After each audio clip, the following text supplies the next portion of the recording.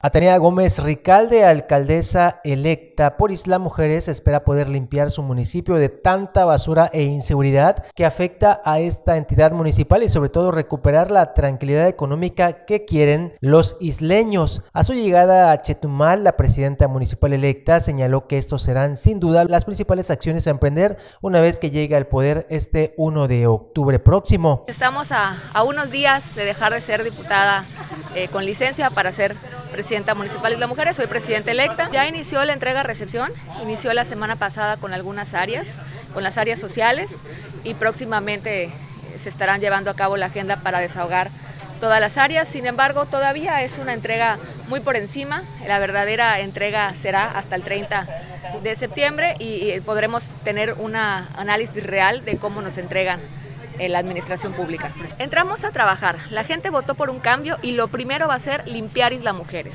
Necesitamos limpiar Isla Mujeres de tanta basura, necesito trabajar con las autoridades en materia de seguridad para regresar la paz y la tranquilidad a las y los isleños. Necesito trabajar en el turismo y la imagen urbana para que nuestra economía siga siendo pujante y cada día llegue más obra pública, pero sin olvidar que el pueblo espera justicia y que el, pueblo espera un gobierno transparente.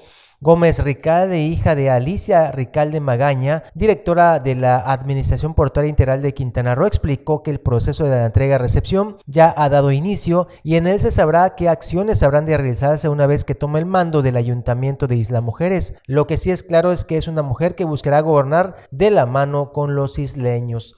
Para Notivisión, Juan Pablo Hernández.